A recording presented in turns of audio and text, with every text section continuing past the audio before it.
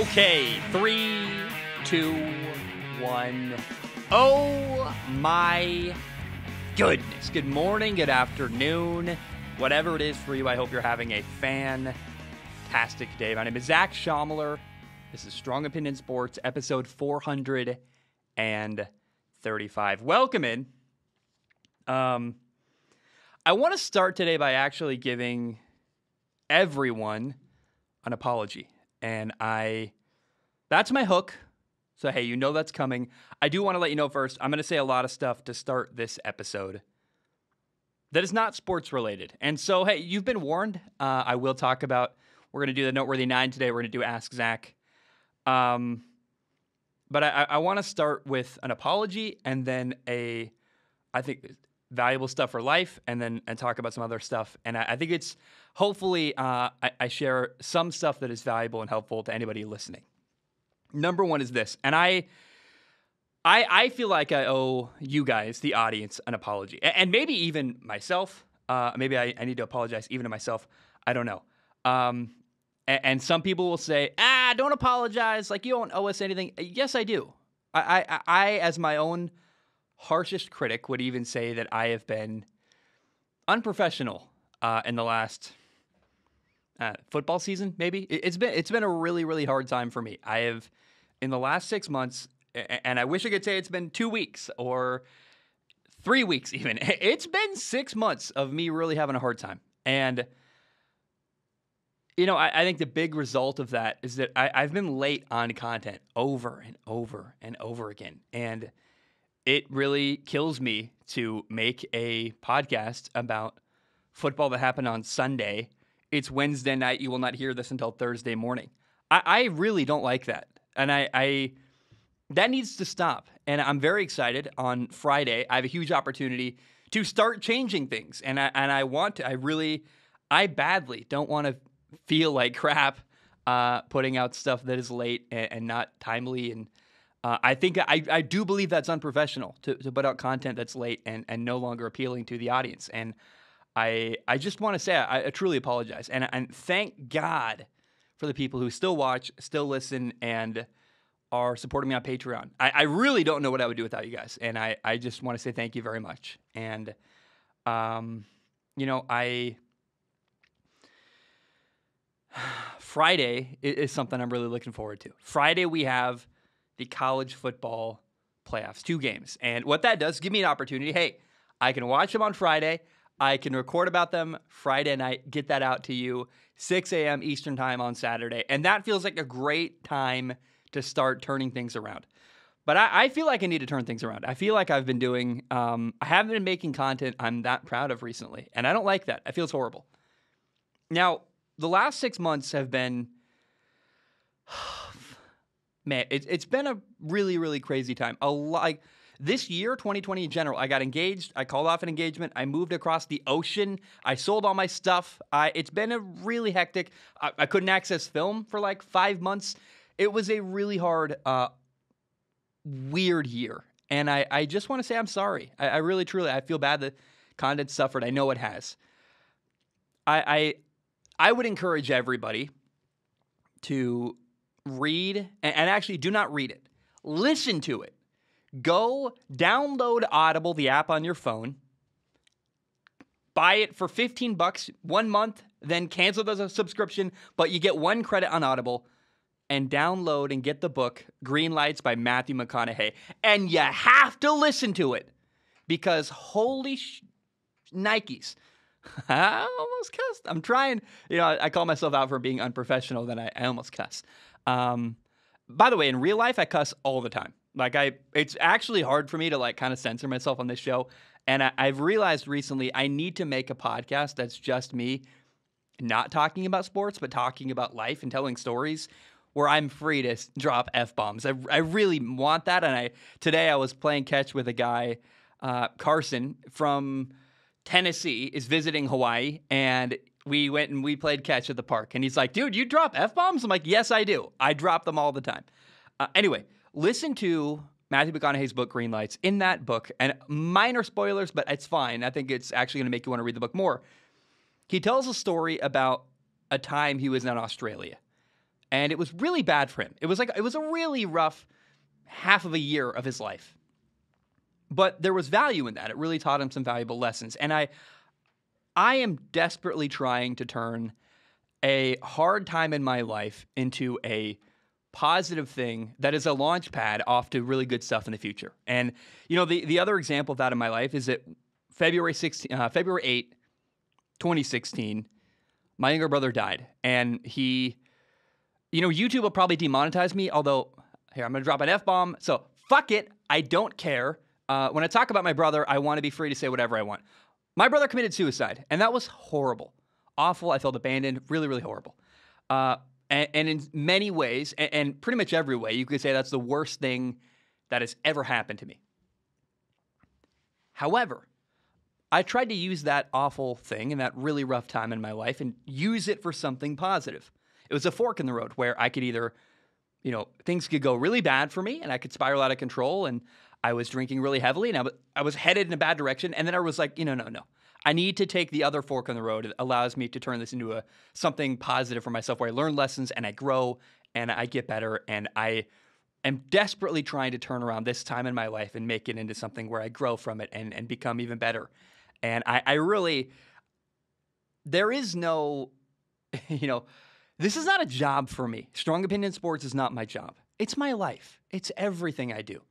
It's I'm either reading a book or doing strong opinion sports. That's all I do. It's my whole life. And I, I put everything into this show. And I, have done myself a disservice by letting it, I think, take a backseat to other stuff in my life recently. And that's, man, uh, not cool. And I don't like that. And I don't want that anymore. And I am I'm very, very excited about where I'm headed. And I, again, I, I really encourage you if you have bad stuff happen in your life, I'm so sorry. It's horrible.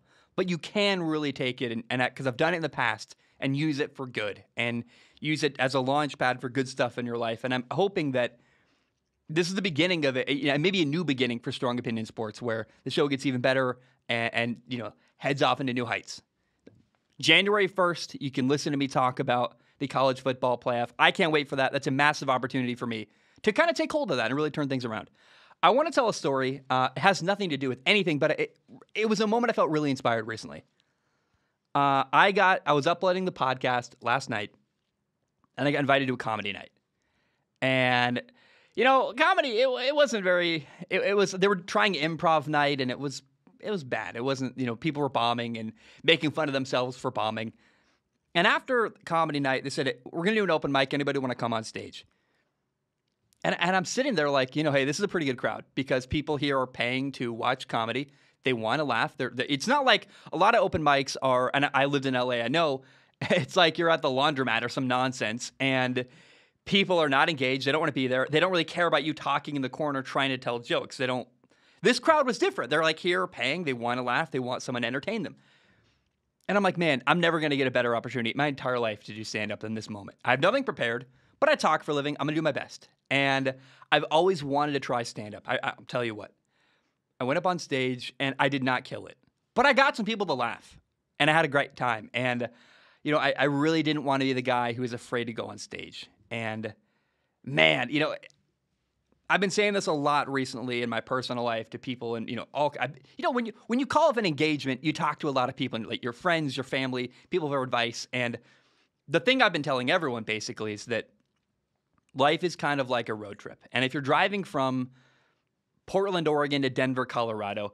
Along the way, you're going to see a lot of really cool stops on the road. Hey, a, a, great burger joint. I didn't know burgers and shrimp could be combined, but they can. Let's try that weird food. That sounds good.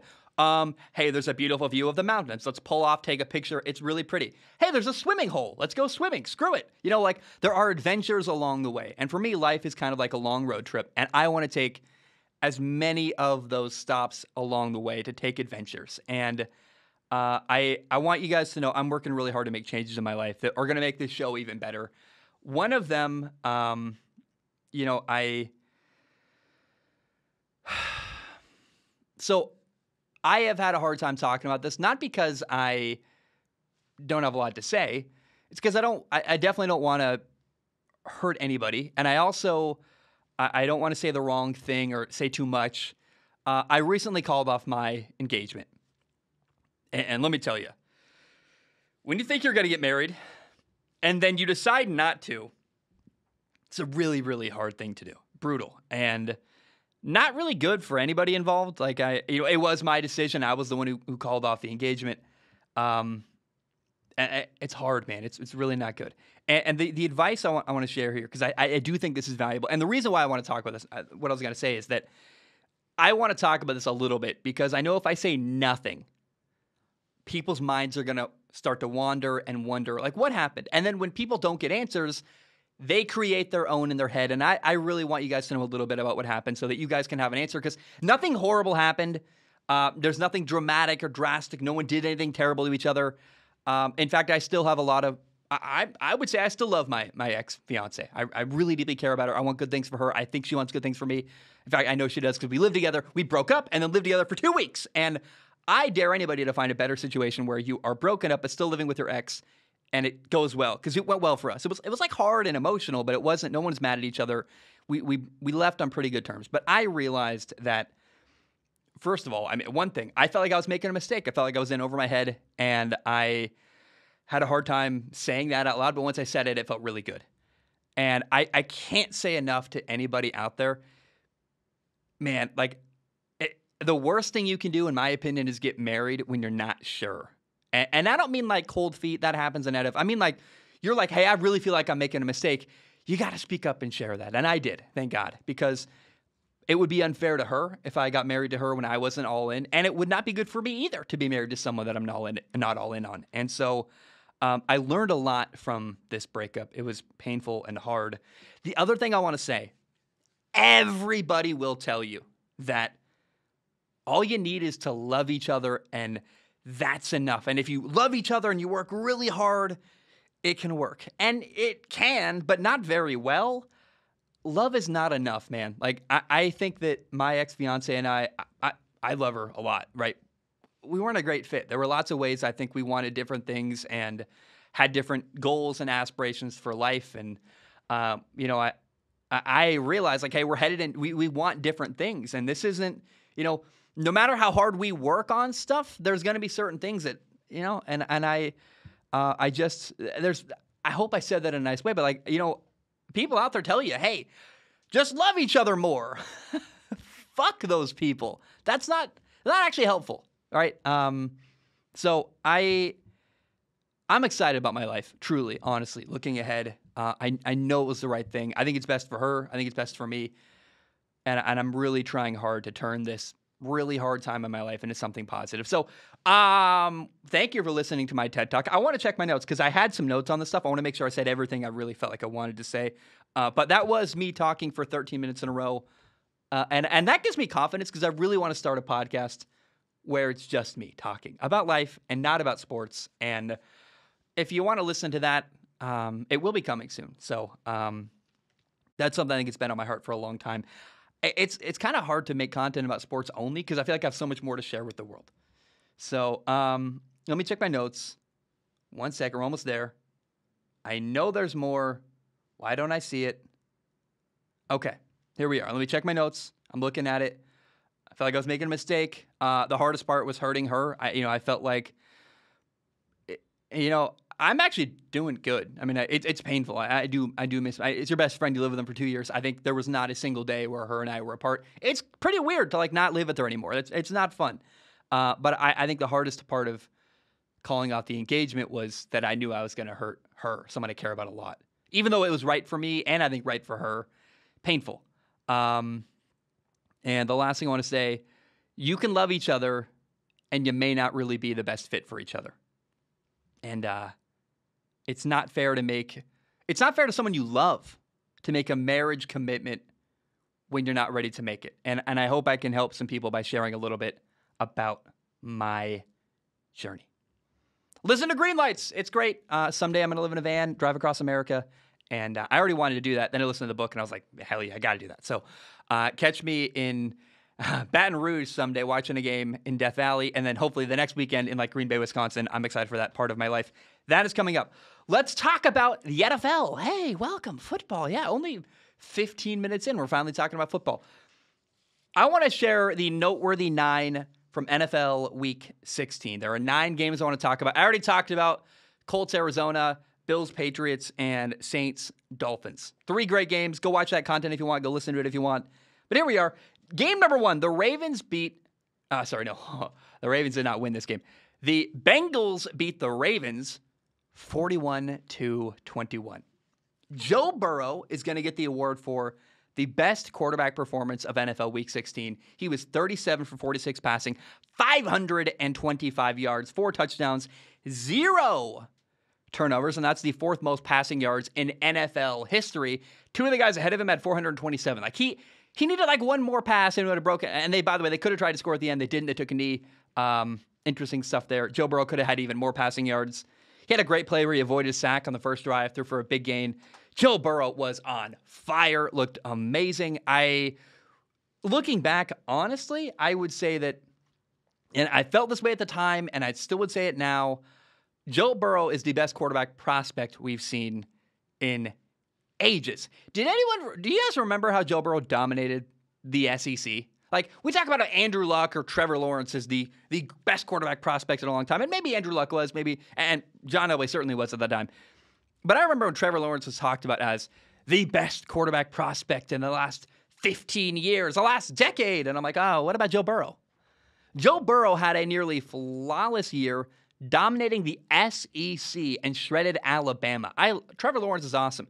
Joe Burrow had a way better final year of college football than Trevor Lawrence, and dude Joe Burrow is awesome. And Joe Burrow is doing something I did not believe was possible. I remember when Joe Burrow was about to get drafted by the Bengals, and I said, hey, Joe Burrow needs to pull an Eli Manning and say, I'm not going to Cincinnati. And God bless you. I love Cincinnati. I hate the ownership of the Cincinnati Bengals. And I said, hey, Joe Burrow, love him. Amazing quarterback. I said, Joe Burrow is not going to be able to turn around the Cincinnati Bengals. Booyah! I was so, so wrong. Uh, the Bengals are nine and six. They are currently number one in the AFC North and on a track to make the playoffs in year number two with Joe Burrow. By the way, that Ja'Marr Chase draft pick, I was also like, ah, it's not very good. Wrong again, Zac. You've been wrong about the Bengals for like two years in a row. Joe Burrow's awesome. Ja'Marr Chase was a great draft pick in the first round. Ja'Marr Chase in this game had seven catches for 125 yards. Tee Higgins, his other his partner in crime. It's not even crime. It's just it's a crime against defensive backs because they're getting shredded every single game. Tee Higgins had 12 catches for 195 yards and two touchdowns. That is what happens when your quarterback throws that many yards. You have two guys who have an amazing stat line. But my goodness, the Bengals are awesome. Joe Burrow is awesome. And I loved watching the Bengals beat the Ravens and put themselves in first place in the AFC North, which is a massive accomplishment for Joe Burrow in year two. Uh, now, 24 hours before kickoff, we found out, and, and the Ravens found out, that Tyler Huntley Lamar Jackson's backup, he's been playing fantastic, could not play in this football game. And so suddenly, Josh Johnson was thrust into the role as the starting quarterback for the Baltimore Ravens in this game. I adore Josh Johnson. I interviewed Josh Johnson once upon a time, a long time ago, during the XFL. And I'm telling you, uh, PJ Walker was the MVP, most valuable player of the XFL. He had numbers and put up a lot of production and stats and yards and touchdowns. But I watched the film, and I, I, I am telling you, not a single human being watched more XFL football than me. Go watch my coverage. Go watch what I said about it. I was, I was dialed into the XFL. Josh Johnson, the Wildcat, the LA Wildcats quarterback, was the best quarterback in the XFL by a lot. He's a pros pro. He is a veteran. He is easy to love. I Love watching this guy do very, very well. Josh Johnson was 28 for 40 passing, 304 yards, two touchdowns, one interception. On a day where 24 hours before the game is when he found out he was going to be the starting quarterback. On a team he wasn't on, like a, I remember, he was on the Jets earlier this year. I you gotta love that story about Josh Johnson. He went above and beyond the expectations of him, and uh, they lost the game. But uh, my goodness, he was fantastic. And uh, I, I really enjoyed watching the Bengals beat the Ravens. But the story there to me, hey, Joe Burrow's amazing. Josh Johnson is awesome and deserves some respect and some credit. He's a guy, he's in like his 14th. He's he's been in the NFL for a long time. And I, I just don't think Josh Johnson, I, that's a guy I'd love to interview. When it's all said and done, when his career ends, I don't know when it's going to happen. I'm going to I'm going to track him down and say, dude, I want to interview you because you had an incredible career. You never got the shine you deserved. And uh, Josh Johnson is a pros pro in the NFL at the quarterback position. Game number two the Titans beat the 49ers a full week ago on Thursday Night Football. I, I, we did a whole segment about me talking about why it's been a weird long time. Uh, the Titans beat the 49ers 20 to 17 on Thursday Night Football during NFL Week 16.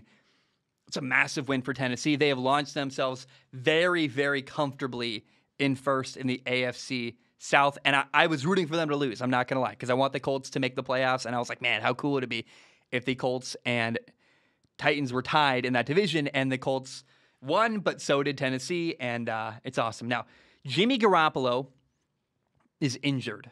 Uh, he tore his, uh, he's got a UCL tear and a fracture in his right thumb on his throwing hand. So Jimmy Garoppolo, I would imagine, is not going to be throwing a football very much anytime soon, which means that we get to see the number three overall pick, Trey Lance, enter the fold and hope, hopefully do well. Oh my goodness. I don't think he's ready, but uh, Jimmy G is bad too. Jimmy Garoppolo had two bad interceptions. Uh, he had a he got picked off in the end zone, and then he had an interception where he threw a terrible ball that got picked off. This game was close and fun, and I, I think at this point, this game confirmed to me that Jimmy Garoppolo is. And, this game confirmed what I've known for a while, which is Jimmy Garoppolo is holding back this 49ers football team. Nothing against him. Uh, you know, not that it matters. He's a handsome man. I, he's a, seems like a nice human being. Uh, he's not producing at a high enough level for his football team. There's a reason why the 49ers drafted Trey Lance number three overall. Uh, before we move on from this game, Deebo Samuel deserves some shine. The he's a 49ers receiver technically. He's just an athlete. He can run the ball, he can catch the ball. He's got 9 catches for 159 yards in this game. On the year, Deebo Samuel has 301 yards rushing, that's running the football, and then 1,247 yards catching, receiving yards. So Deebo Samuel can do it all. He's awesome. And uh, I, he's the beginning, I think, of a trend of guys who are going to be used very versatilely in all kinds of different ways. And uh, I really like seeing Deebo Samuel do well. Game number three Kansas City won. The Chiefs beat the Steelers 36 to 10. And uh, Patrick Mahomes looked really, really good. He was 23 for 30 passing, 258 yards, three touchdowns, zero turnovers. That's a great game for him. And uh, I remember writing off Kansas City. They are 11 and 4 now. I got that embarrassingly wrong. Now, I, I did remember saying they're going to be hard to beat in the playoffs, I think, something like that. And they are going to make uh, the playoffs very interesting. I, I was foolish to write them off and say, they can't win a Super Bowl. Although at the time, the way they were playing, they weren't going to be able to win a Super Bowl. Their defense is getting better. Patrick Mahomes is no longer playing here. Like to start the year, Patrick Mahomes was making passes that I just was like, what are you doing, buddy? Like, you're throwing a ball into triple coverage. You're forcing throws. I think he was trying to do too much. May- maybe trying to live up to the hype of being the star Patrick Mahomes in commercials all the time and the the legend of himself. It's hard to live up to maybe when the legend grows bigger than you, but I remember saying at the time, all Patrick Mahomes has to do is like dis- be disciplined and execute the offense rather than trying to play hero ball. He's been doing that recently. Kansas City's defense looks really, really good, and uh, yeah, KC.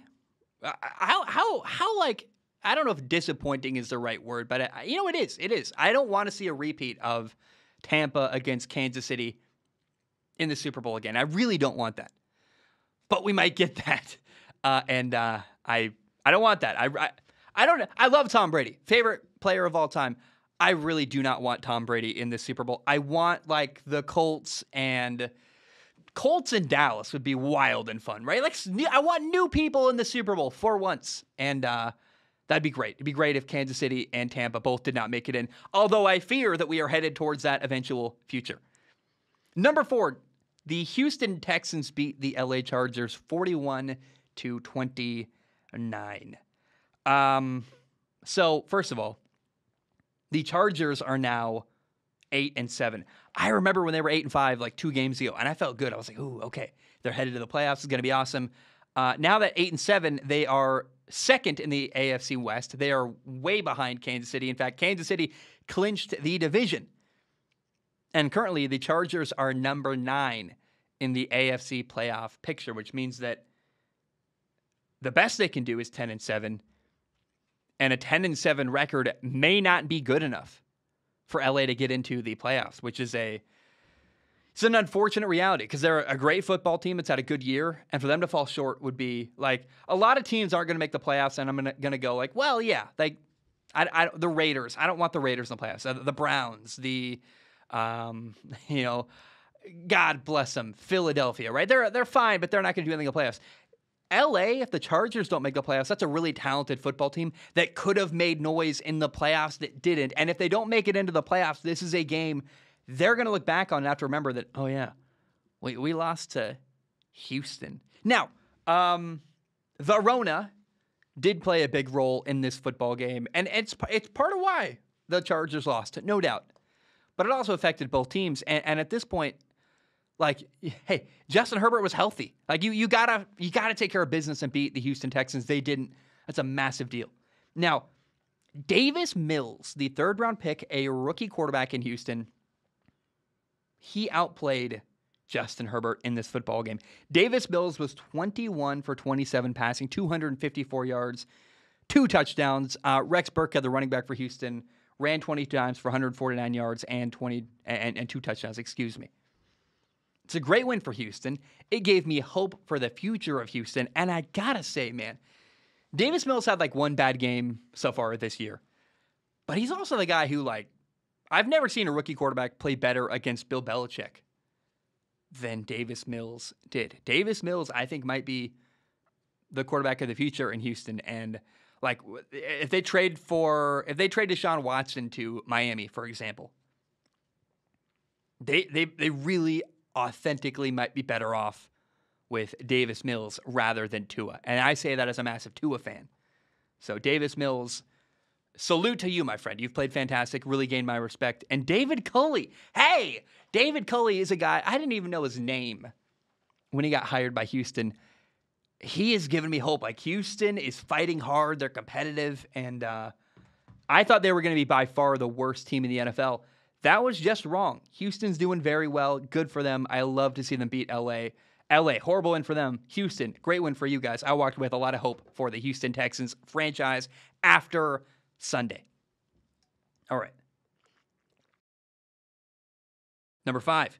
On Sunday Night Football, Dallas destroyed Washington 56 to 14. It was a it was a shame. I'm not gonna lie. I, I I'm very, very disappointed in Washington. Washington three games ago sat at six and six with five games left, and all five games were divisional matchups. Hey, you gotta beat teams in your division and you make it into the playoffs. They control their own destiny. And they failed miserably. Washington is now six and nine. That's awful. I'm not happy about that. And I, you know, Taylor Heinicke was bad in this game. Dak was amazing. They got shredded every way possible. Uh, now Dallas, they're 11 and four. That's an amazing record. I, I think I predicted them to go like six and 11, something shamefully embarrassing. So Dallas, way better than I thought. Clearly, uh, they won the NFC East, which is a long streak continued that no team appears to be able to win the NFC East in back to back years. Who's going to win next year? Probably not the Giants. Oh, blah, screw the Giants. They're, they're stupid, complacent organization. Um, yeah, Dallas dominated. Taylor Heinicke was bad. Dak looked great. I am very, very interested to see what Dallas can do in the playoffs because they, they are a team with a ton of offensive weapons. They're well coached on defense. They you know get interceptions and turnovers. Um, Micah Parsons is amazing. They have a great offensive line. I, I really like Dallas has a way. I they can make some noise, and Dallas is certainly not a Super Bowl favorite, but they are capable of winning a Super Bowl. Like Philadelphia is going to make it into the playoffs, and I pity them because they've got no shot to win a Super Bowl. Dallas is going to make it in, and they really do have a shot. So uh, I'm very, very interested in Dallas and how the Cowboys do in the NFL playoffs. Now, on Saturday, the Green Bay Packers beat the Browns 24 to 22. Aaron Rodgers was awesome. He's amazing. He is every single week. Uh, the Packers made some great catches. Browns running back Nick Chubb did his thing. He had 17 carries for 126 yards and a touchdown. But what stands out about this football game is that Browns quarterback Baker Mayfield had four interceptions, four of them. Uh, in a game, by the way, they lost by two points, and Baker had four interceptions. Interception number one was a forced throw deep in a double coverage. Uh, number two is a ball thrown high in third and 19. By the way, him trying to force a throw into coverage on third and 19 cost Cleveland a field goal opportunity, which potentially could have been the difference in the game. They lost by two. That's a, they could have kicked a field goal there. That's a three point swing. That could have been them winning the game. So Baker forcing throws, trying to make stuff happen. Uh, number three was another bad decision. His fourth interception was a play, you know, 50 seconds left. They're down by two. He's trying to put a drive together. Browns had the ball, and Green Bay should have got called for pass interference or holding. That receiver was held horribly. That should not have been a pick. That should have been a penalty on the defense. It didn't get called. I don't know why. But whether you count Baker having three interceptions or four, neither can happen, right? Like Baker, let's say that interception doesn't count. And okay, so instead of four interceptions, he has three. That's still terrible. That's not good. And um, Baker's bad throws and Baker's bad decision making are costing his team victories. And I'm I'm really interested. I know Baker Mayfield is a fighter. Baker Mayfield's a guy who walked on uh, two colleges and elevate went from nothing basically to a Heisman Trophy winner and a number one overall pick. And then he won a playoff game in Cleveland. So he's clearly like he's got a fighting spirit. When Baker finds himself on a new team next year, most likely, which I think is what should happen, by the way, I, am very, very interested to see how he will bounce back. And maybe Cleveland doesn't have the gonads to get rid of Baker, but they should. Baker's holding them back. It's been a problem all year, and I like Baker. I want to see him do well, but I want to see him do well somewhere else. And if Matt Ryan were the quarterback in Cleveland, this football team would be a Super Bowl contender. Baker is the problem holding them back, and I'm sorry to say that. I like Baker. I think Baker's awesome. I like his spirit. Um, I don't know what's happening there, but he's playing really bad football, and it's inexcusable, and it's got to end. Game number seven. The Eagles beat the Giants 34 to 10. Uh, Philly has won three games in a row. Philly is now eight and seven. And by the way, if the playoffs started today, Philly would be in as the number seven seed. I love that. I love that for the quarterback Jalen Hurts. I love that for head coach Nick Sirianni. I really want them to get in. I remember being so heavily critical the day that Nick Sirianni stuttered around and sweated and said all kinds of embarrassing crap uh, in front of the media during his introductory press conference. And now look where he is. He's winning football games. They're in the playoff picture right now. That's awesome. The next two games for Philly are at Washington, and then they play that Cowboys at home in Philly. Winnable games. And Philly may not be playing the Cowboys starters. Uh, now, imagine if they lost to the Cowboys backups. That'd be terrible. But Dallas has already secured themselves a spot in the playoffs. They've clinched the division. Philly's got an opportunity here. I want to see Philly make it into the playoffs. That would be very, very cool. And what an impressive first year for Nick Sirianni, a coach who got criticized heavily by myself and many, many others when he took the job in Philadelphia. Game number eight. It was a fun game. It was the Jaguars against the Jets. The number one overall pick, Trevor Lawrence, against the number two overall pick, Zach Wilson. And the Jets beat the Jaguars 26 to 21. Zach Wilson won the game, but in this head to head matchup, I remember outlining this game like before the season even started. I'm like, I'm excited to watch week 16, Zach Wilson versus Trevor Lawrence. And I'm like, who is going to be the better quarterback in this game? I hate to report this to you, but it's true. There is no real clear winner here who is the better quarterback. Uh, Trevor did a lot more. Trevor threw the ball 39 times for 280 yards, but he also had a turnover, a fumble, and Zach Wilson was efficient ish. He was 14 for 22, 102 yards, one passing touchdown. He also uh, did run for 91 yards and a touchdown. He had a crazy, awesome, long, sweet touchdown run Zach Wilson did early on.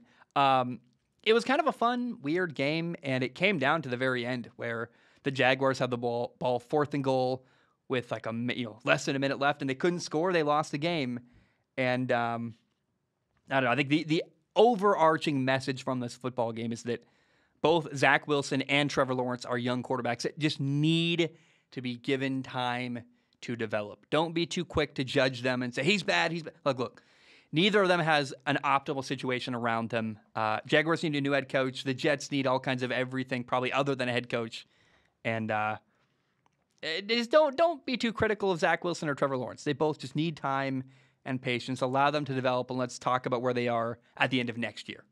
But I will I will do a film analysis on both and break down what they did right and wrong this year. That will be fun. I'm, I'm very excited for that, and I look forward to doing that this offseason. Okay, final game from NFL Week 16 I want to talk about. Number nine, the Bears beat Seattle 25 to 24. First of all, Nick Foles started at quarterback for Chicago. Dude, great for him. You know why that's good for him? Because it gives him an audition to show what he can do to help him get on another team next year. Uh, I remember watching the highlights of this game before I watched the full game, and there's snow on the ground, and I just assumed that's a game in Chicago. Then I found out no, no, no, no, no, no, no. Uh, this game happened in the Pacific Northwest, where I'm from, in Seattle. There was snow in Seattle. Looked like a, a game in Chicago. Uh, and, and I want to say about this game, I was 1,000% right about the Seattle Seahawks. I told you so. I got I was wrong about you know Dallas. I was wrong about Kansas City. Uh, undoubtedly, there are teams I also was wrong about, but the one team that I got, oh my goodness. In fact, there's two I remember. I, I got massive hate from Giants fans for saying they were going to be bad. And I got, I don't think I've ever in my life received more anger and vitriol and hatred from people when I said that Seattle was going to go 6 and 11 this year. Hey, right now they're 5 and 10. Yeah. Yeah. Oh, yeah, I got it right, bro. I, I like killed that one. And uh, signs have been there for a long time. I feel like I've been gloating about this for weeks. Um, but people, I, I've noticed this. One criticism of my prediction for Seattle's people say, well, you didn't know Russell Wilson was going to get hurt. Here's my response. Hey, uh, Seattle had Russ during this Chicago Bears game. The Bears, who are a 4 and 10 football team, and Seattle couldn't win even with Russell Wilson on their football team. So I was right about Seattle. They're a terrible football team. Uh, they're what did they trade away Russ? What do they have? Because they, they literally have nothing else other than Russell Wilson, and I, am very interested to see what happens about with Seattle next. But again, again, I'm gonna bask in the glory of this moment. I was right. I was right. I was right. I nailed it. All right. Uh, oh, by the way, I didn't even mention the way this game ended. the Bears had an awesome touchdown with like a minute left in the game and then went for two. Instead of tying the game with an extra point, 24 24, they went for two, got the two point conversion. They won the game 25 24. And that is how the Bears won that football game, which I, I almost forgot about that. It was amazing. It was awesome. Uh, this game came down to the very end. It was really cool to see. And uh, that's what I live for. That's why I watch football, as I want moments where I don't know who's going to win until the final minute of the game. And that, that, to me, that's the perfect football game. A team scoring a touchdown with a minute left and then going for two. Whether they get it or not, you know the game's going to be decided right then and there. And it was. The Bears won. And uh, I really would have been happy either way. Because you know what I love more than I love being right about Seattle? I love games with great endings. And this game had a great ending, which makes me very, very happy. All right. Uh, it is now time for Ask Zac. It's my favorite part of the show. It's where I answer questions from the audience. In case you do not know how it works, you go to patreon.com forward slash Zac Shomler. You give a dollar a month. You can give more if you want to. Please do. Uh, it literally helps pay my rent. I very much appreciate it. But a dollar a month gives you access to submit questions on Patreon. Now, if you submit a question, I do not guarantee to read it on the show. My only guarantee is I look at every single question with my eyeballs. I pick the top couple and read them on the show.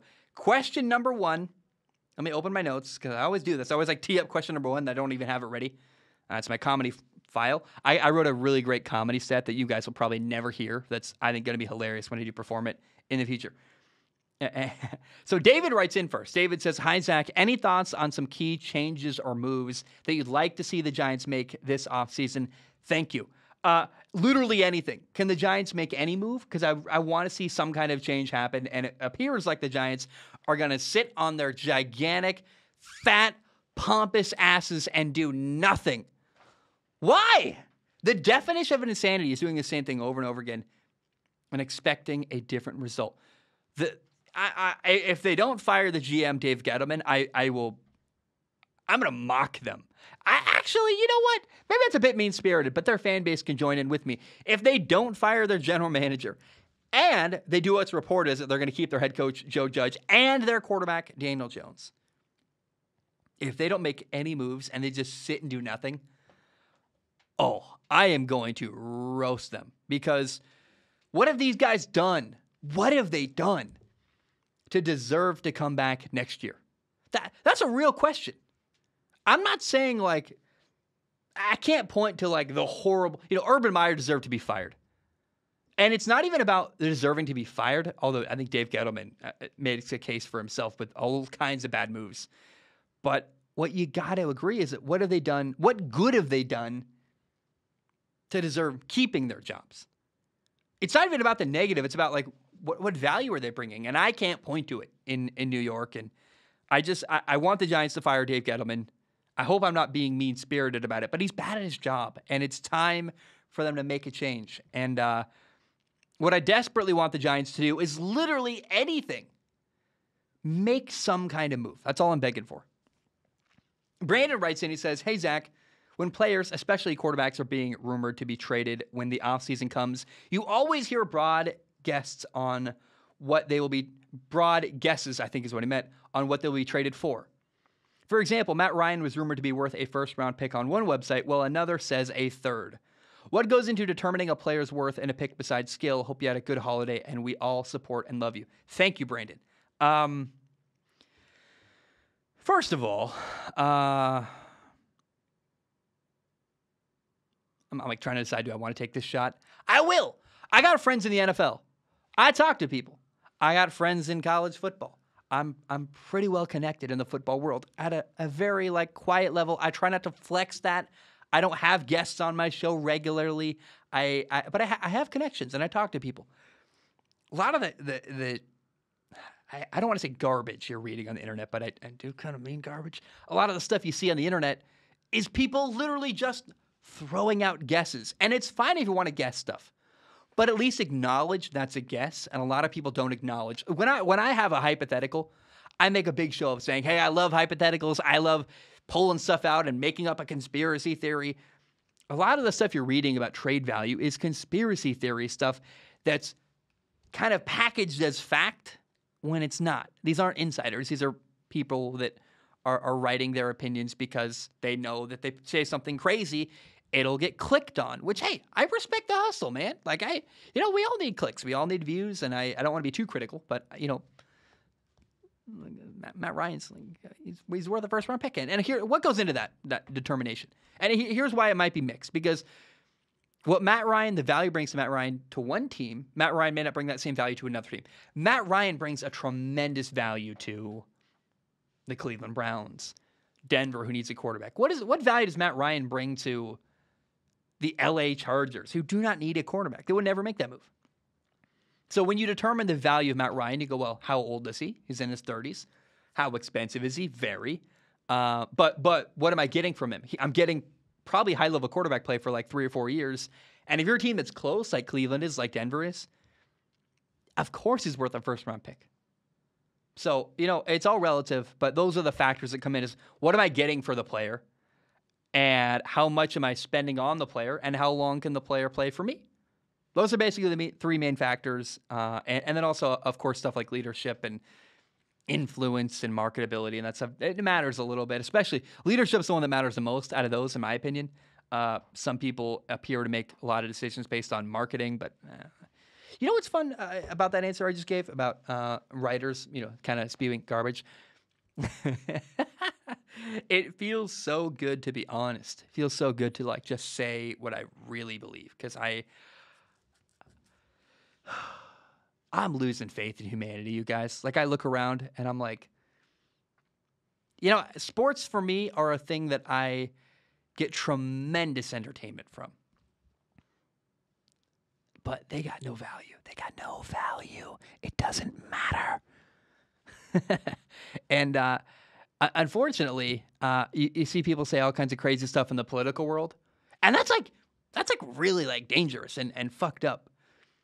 In the sports world, it annoys me, but it, you're not hurting anybody by pretending you know the value of Matt Ryan. It's like, eh, well, you know, eh, no one's getting hurt, thank God. But um, I, you know, I, I just I, I watched a movie called Don't Look Up on Netflix. Honestly, probably don't watch it because if you like to just be happy and ignore the world, uh, you're going to be very depressed. I, I unfortunately, I, I, I, I, pay attention to like the environment and yeah, I try not to listen to politics, but I, Don't Look Up on Netflix is a very depressing movie that unfortunately I think really does show a lot of realities about our our planet, which it's sad to me. It's very sad. I'm, you're gonna find me living in a forest somewhere someday, off the grid, and you'll never find me. And uh, the world will burn around me, but I'll have water and food, and I'll take care of myself, and I'll be growing food in a garden. Like I'm, I'm, I'm not kidding. When I'm like 50, that's what I'm gonna do. So uh, I, I, already, and I need to buy the property in like five years because I know I got to get it, secure it, uh, and then you know. what, what am I talking about? I'm so sorry. Justin writes in, says, question which is probably too spicy for this show. Especially, by the way, after what I just said, it's going to be rough to read this, but I'm going to do it anyway. He said, I forgot the exact wording, but you mentioned something like the University of Oregon had an inflated sense of self worth. My words there, I will take all the heat if you read that. So I, I did read that. that and Justin said that, not me. I didn't say that Oregon had a inflated sense of self worth. Oh, that was Justin, not me. uh, I I am from Washington and went to Washington State. I, me too. Well done, Justin. Although I hate Washington State, I would say that uh, the you the that University of Washington has a much larger and unearned air about them, especially in the Pac-12. They just assume they will win, and their fans assume the same. Any thoughts on UW or any other program thinks better than it performs? Thanks for reading with your eyeballs. Stay safe. USC is pretty arrogant. They're not all that, uh, especially not right now. They're trying to be, and they they hired Lincoln Riley. It's a great hire. No, I, I think you're totally right. The University of Washington. So I went to Washington State, guys, and Washington State. Eh, hicks, rednecks, people that shoot guns and have boots and jeans and lovely human beings are there, right? But they're in the country. It's a rural town. It's a small town, and I like this. I, I, I would never want to go to University of Washington. I went to Pullman, Washington, small town. Had a great time. Love the people there. Uh, it's but it's a different crowd. It really is. It's uh, tends to be more right wing and conservative. Now, I don't have a side. I don't. I don't. I don't. I'm not right or left. I'm just kind of my own weird amalgamation of beliefs and opinions. And um, what I have noticed from you know far away watching, the University of Washington is is very very pompous the way they talk about the university and they make it about more than just that you know they're the Huskies versus the Cougars. They talk about we're the city and it's very it's an uncomfortable rivalry because the the trash that one side talks University of Washington to the others you guys are Hicks you guys are small town whatever we're better than you we're prestigious university like it's it's such an air of arrogance and we are better than you. And I don't think any human being really is better than another human being just because. Anyone ever been to Seattle? Fucking horrible, dude. Like the cement. There's some, there's some like the. Now there's nothing good in Seattle, in my opinion. Like I, I don't want to go back. I there's some pretty stuff, I guess, and the ocean is pretty cool. But I think outside of Seattle is some really good stuff. Really, like if you get out of Seattle, um, yeah, the the San Juan Islands are beautiful. The Olympic National Forest is a human treasure. It's the best, one of the best spots on the planet. Um, Seattle itself, dude, it's a concrete nightmare. It's horrible. The traffic's awful. Uh, people are, it's expensive. People are full of themselves. Dude, I, I don't ever understand like the arguments that Washington fans make towards Washington State. And it just comes across as really arrogant rather than like, you know, it's one thing to like I feel like it crosses a line into we clearly think we're better than you, look down on you because of your beliefs and where you choose to live, rather than like, hey, we're just a better football team. So um, it's one of the most, uh, I don't know, Washington fans, not my favorite. So that, that's my response, Justin. long answer there. I hope it's not. I hope I don't get in trouble for saying anything I just said. But eh, you know, it's my show. I can say whatever I want. Joey wrote in and said, Happy New Year, Zac. I recently watched an older episode you released earlier in the year where you briefly mentioned sports and gambling. And by the sounds of it, you made it clear you're not a fan of it. I was hoping you could expand further on the subject, as when I heard you say that it was truly a breath of fresh air, as nowadays you can't tune into a live sports broadcast or even a sports talk show without being inundated with gambling odds and advertisements. Joey, thank you. Um, you guys, I, uh, I, I need to. Well, let me say this, and I'm about to make an announcement. I, am pretty sure on uh, about my Patreon, which is that I instead of pursuing sponsors, I'm going to really heavily lean more into Patreon, and I want to make film analysis content. If you want to help the show, support me on Patreon because if we get to 2,000 supporters on Patreon, I'm going to make two film analysis videos a month, and that's what all I'm going to promise. But I think I can do even more. But I, instead, I was talking to sponsors and trying to get sponsors, and I had a horrible experience, and I didn't like any of it. And I realized like I would rather work with you guys, the audience, than work with big sponsors who have very unrealistic expectations and things they want from me. And a lot of the sponsors reach out to me are gambling sponsorships, and I I will never take a gambling sponsorship. I don't want to do that. I think it's wrong. It's unethical. Um, I see really big sports podcasts taking lots of money from gambling websites and apps and stuff and I think that's horrible and I don't like it and not you can gamble it's your life do whatever you want but I don't want to encourage gambling. I have known people in my life who've lost everything because of gambling I don't fuck around with money, dude. Like money's not a game. Money's not something you just you know run around with willy nilly. I, I, I really don't ever want to support gambling or promote gambling. If you want to gamble, dude, I, it's your life. Like do whatever you want. But I'm not going to play a part in encouraging people to spend their hard-earned money and, and, treat it like a game and potentially lose it all. I just don't. I'm I'm not interested in it at all. I really don't feel comfortable talking about promoting gambling dude, do whatever you. I, you know, I uh, I do some stuff that I think people, you know, I I love a good edible. I really do. I don't smoke, um, but if I, I, do about once a month, I'm really tired. I need to relax. I need to de-stress. Take an edible. It's great. That's my dirty laundry. That's the thing I do. That's probably looked down upon from a lot of people. The thing I don't want to help participate in is is gambling. I just I, I don't know how it's good. I don't understand it. Um, I, I don't have any disposable income really to like spend on gambling. That's another thing I don't, and I, I certainly don't want to encourage anyone um, to do it. So if you want to, hey, I don't really care what you do. Do whatever the fuck you want. I'm, you're you're happy. I'm happy.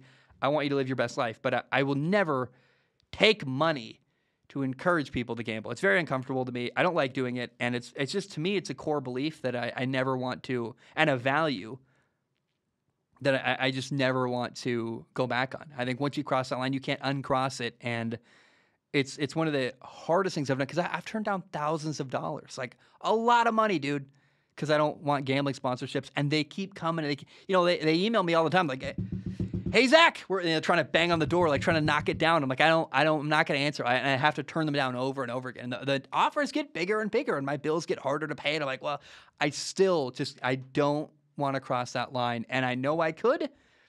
And I, I feel better. I sleep better at night knowing that I don't. All right, Joey, thanks for writing in. I appreciate that. Hope that was a good answer. Um, that's all genuinely how I feel. Okay. After Joey, we have Carter. Carter says people wanted to crown Patrick Mahomes the GOAT after three years, yet after a rough start, the media did a complete 180. But you were the lone voice pointing out that playing the Chiefs in the playoffs would be terrible for anyone. So now that they're a playoff lock, would you add them back to the Super Bowl contender list? So I'm not going to add them to my contender list, even though. So let me let me be. Uh, I have to be honest. First of all, yeah, the Chiefs are a team that can win a Super Bowl, and it would be disingenuous of me to um, not acknowledge that. So they are a Super Bowl contender for sure. They can win a Super Bowl. They're a dangerous football team.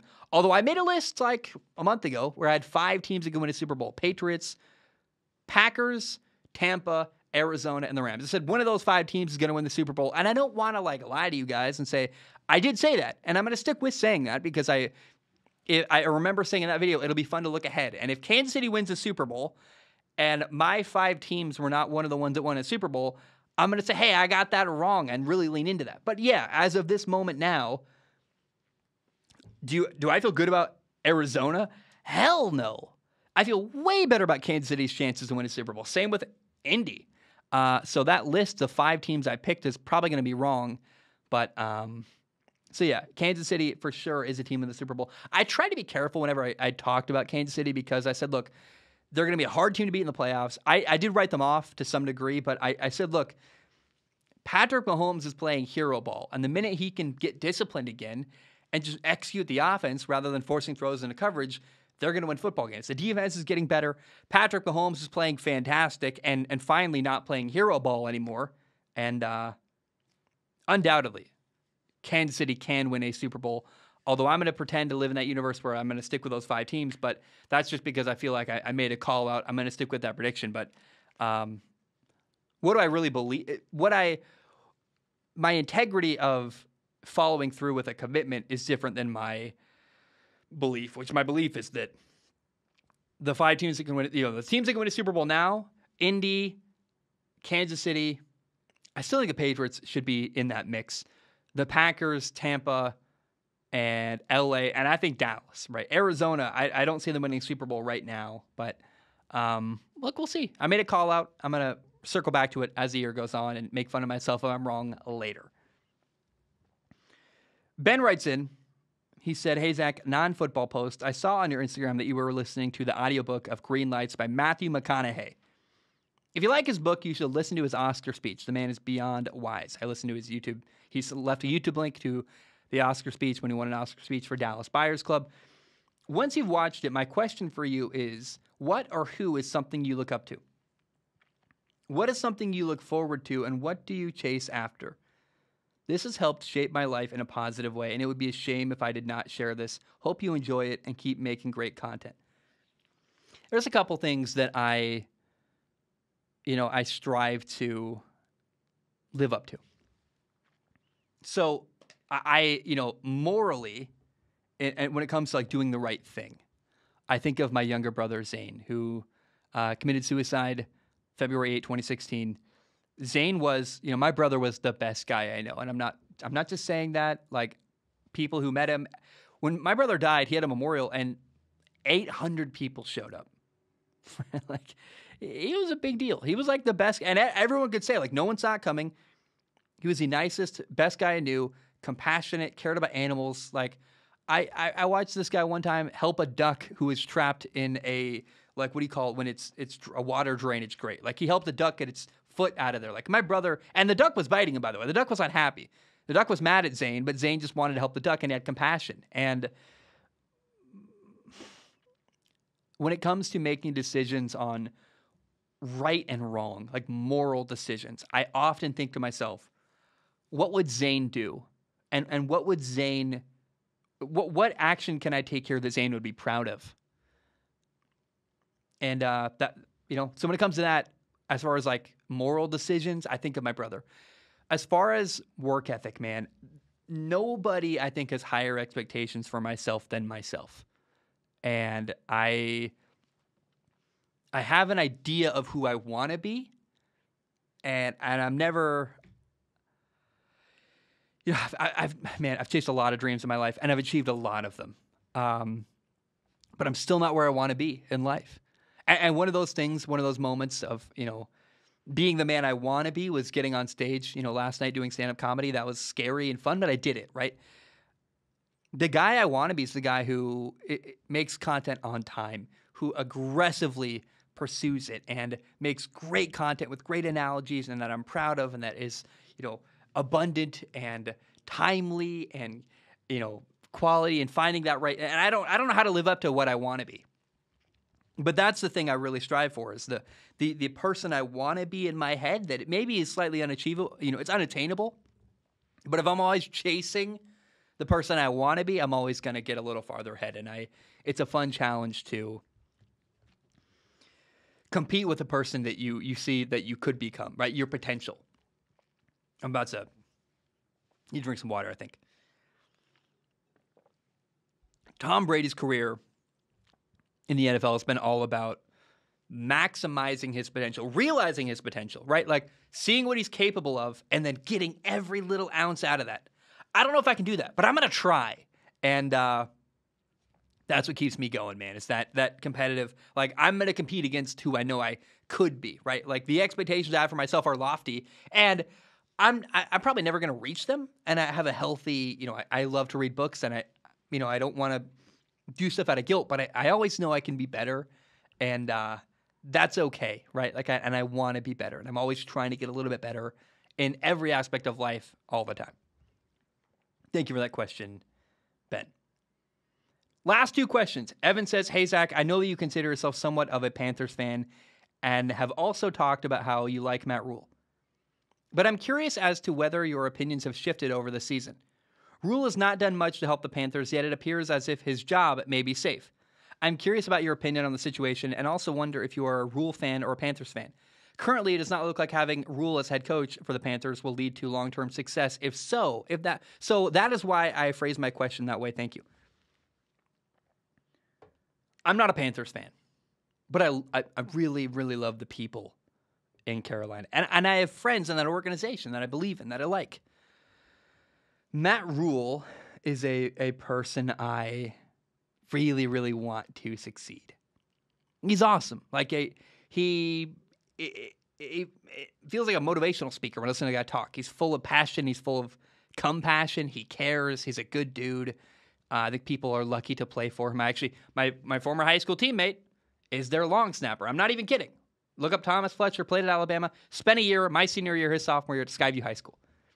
Thomas is lucky to have Matt Rhule as a human being as his coach. Now, will Matt Rhule work as a head coach in Carolina? Can he win? I don't know.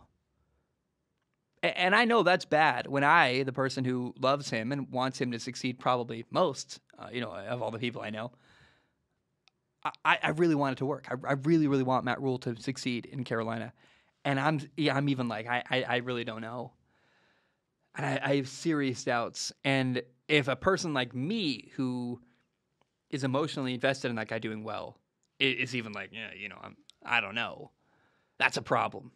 I hope he gets another year. I think you can compare him to Joe Judge. Like, what has he done to deserve to stay? I, I don't really know. He said a lot of good stuff at press conferences, so maybe that's he's a good salesman. He he won in college, um, and maybe he's just learning the NFL. I don't I don't know. I, I really want Matt Rhule to do well. I don't know that he's the right guy, but I I'm a pseudo Carolina Panthers fan because I, I, really like the people there, and one of those people is Matt Rhule. I like the owner. I I wanted Sam Darnold to work. That did badly. I wanted Joe Brady to work. That he got fired. Uh, Matt Rhule might get fired. I, I don't know. I hope he stays another year. And I, man, I'm rooting for that guy. I, he seems like a good dude, and uh, I could root for him and also not believe in him. And I don't know what I believe when it comes to him, but I certainly don't feel good. Final question of the day comes from ENK. Hey Zac, do you think the Texans will be sticking with Davis Mills? Aside from one bad game, he's actually played pretty well.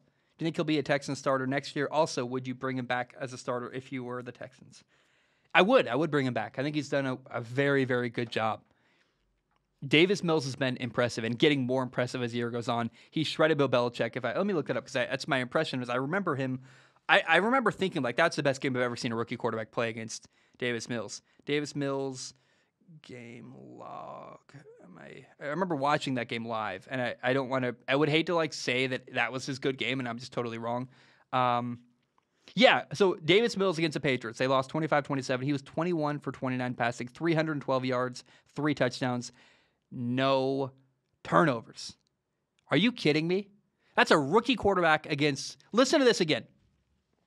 This is what Davis Mills, a rookie quarterback, did against the Bill Belichick Patriots defense 21 for 29 passing, 312 yards, three touchdowns, Zero turnovers. They lost by three points. Dude, Davis Mills is the franchise quarterback in Houston. Get rid of Deshaun Watson. Get a ton of draft picks for him. Build the team around Davis Mills. It's a great formula, uh, and it's beautiful. You can trade away Deshaun Watson, get a massive haul, rebuild your football team. You got a good young quarterback who I like and is doing very good stuff. So, yeah, Davis Mills is the franchise quarterback there, and uh, I I feel I feel good about that actually. That's I, I even feel good about David Culley, their head coach. He's he's done way better than I thought he would. So I have a lot of hope for Houston, and uh, I'm excited for what they're doing. I, I don't know. Hey, I don't I don't I don't know where Deshaun Watson's gonna go. I don't know who wants him. I don't know where he's gonna get traded. Hopefully for Houston's sake, he uh, they get a lot of draft picks for him because if they can get like three, four first round picks, you know, and a, a bunch of good young players to build around Davis Mills, that's a lot of potential in Houston. Guys, my name is Zac Shomler. Thank you so very much for tuning in. I appreciate you. Remember, uh, we're all flawed humans. We all make mistakes. We're all doing our very best. That's okay. If you're struggling, go get help. And uh, man, I, I know if you're having a hard time, you can get through it and you can use that for something positive. I love you. I appreciate you. But um bum, bam, we are done.